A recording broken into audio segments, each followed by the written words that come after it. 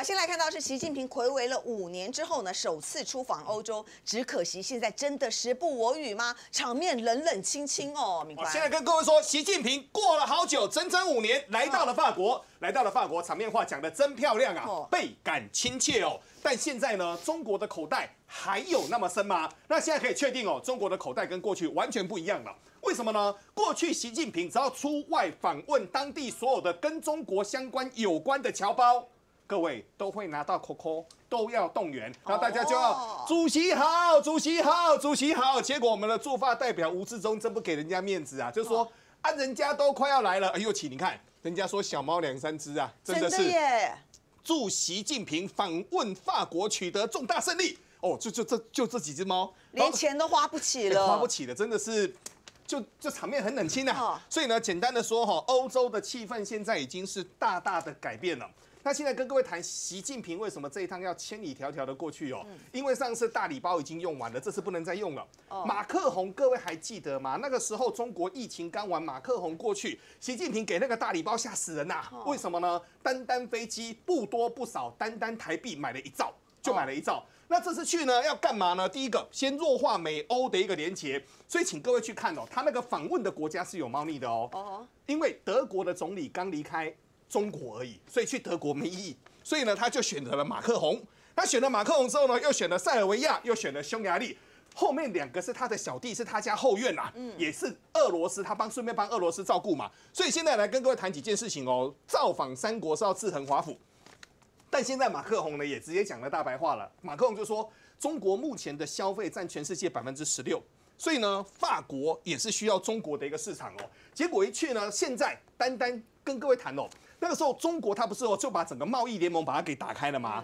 法国最出名的叫做 XO，嘿，目前 XO 据说大家都可以坐下来谈了，关税要往下降哦。好，那访问法国完之后呢，明天的大戏就要来了。好，又请你知道吗？二十五年前呐，嗯。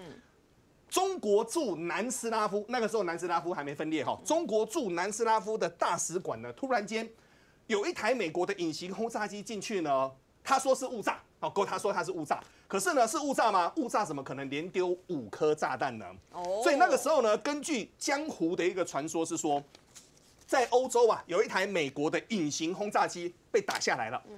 打下来之后呢，中国他们所有的情报人员呢，他们就去把所有的零件全部捡捡捡捡捡捡完之后，就藏在中国驻南斯拉夫的大使馆的地下室。嗯，所以呢，后来呢，美国呢，他用误炸的名义就过去哦，五颗飞弹咻咻咻就下去哦，特别还打了穿地弹，可是呢，没拿没炸掉。哦，所以现在才有现在的所谓的轰二十嘛。现在中国有隐形轰炸机了哦。那习近平那时候中国是气死了，各位你去想想看。我们的大使馆住在南斯拉夫的，你居然美国说你来误炸，这个理由你都说得出来。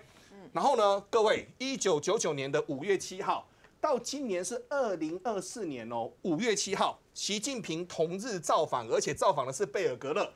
他在暗示什么？他在暗示说，二十五年的这条账我们还记得吗？那我们还记得敢跟整个美国正面开撕吗？目前来看是不会。那好，意大利都要退带路了，现在整个。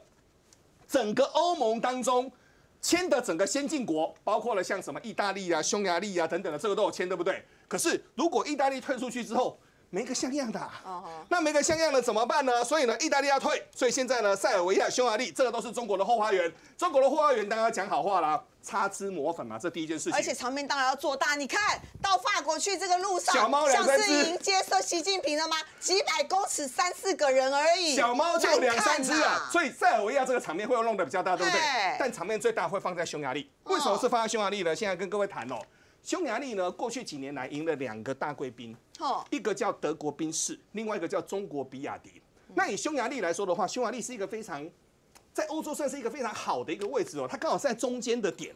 然后呢，人工也低，相对来说他们的支出也不用那么高。但重点是匈牙利过去在重工业化做的还不错，所以呢，中国一直是匈牙利最大的一个投资国。单单在二零二三年哦，他投资匈牙利就投资了一百零七亿的一个欧元，可以说是下了血本了。那下了血本呢？做的是什么呢？很简单，欧盟现在呢是整个刀子拿起来，要对中国像什么比亚迪呀这些好的电动车要升关税。据传这一波升关税会升到百分之五十。嗯，可是呢，他们有一个例外条款。哦，我你在我欧盟里面自己做，我们的工作机会你提供了嘛？对不对？我们不加。所以目前包括了比亚迪，嗯，全中国现在有十大电池厂，对不对？有五间哦，通通要去匈牙利建厂。哦，那要去匈牙利建厂呢？现在呢，所有的欧洲这些大厂商是莫内莫内修了，会会怕？为什么会怕呢？你比亚迪跟五大电池厂都来了之后，我怎么跟你拼价格啊？哦，所以这是一个很大的一个麻烦哦。所以未来的匈牙利会不会成为欧洲、中国最大的一个突破口？这个大家都在看，但这场戏还在演。嗯，这场戏还在演，因为还在建厂，还在陆陆续续还在完成当中哦。这个都要来看哦。但马克宏这次呢，也算是用尽了心思。发生什么事呢？嗯，有没有发现这个很帅的这个男生？这个男生现在是法国的总理，他叫阿塔尔。阿卡尔是真的长得帅，年纪也非常轻哦，不到三十岁。这次呢，特别去迎接习近平。迎接习近平的第一句话呢，讲中文啊！哇，习习近平说：“哇，你的中文讲得很好，讲得很标准哦。”但我们把后面这几天呢，先来把这个标准的流程先把它讲完。第一个，习近平到欧洲去呢，这次对于整个俄乌战争呢会讨论，嗯，但是先跟各位说，不会有结论，不会得到解决的。为什么呢？俄乌战争当中，目前中国毕竟还是。俄罗斯后面最大的一个支持者，这第一件事情。但这次是平衡欧洲大国宣传“一带一路”，所以这当中呢会讨论非常非常多有关于电动车啦、商业联盟啦、欧洲不要深邃等等的。但后面大戏在中国。普丁五月十六号据传会一趟路亲自到中国去。为什么要到中国去呢？五月十六号，跟我们突然间想一想，哎，开始有点明朗了。台湾要五二零啦。所以呢，现在的整个国际外交的戏呢是一场接一场，但这次呢，习近平到了欧洲去，只能说中国的口袋不再那么深了。看到法国冷冷清清，后面塞尔维亚跟匈牙利，你们要加油点啊！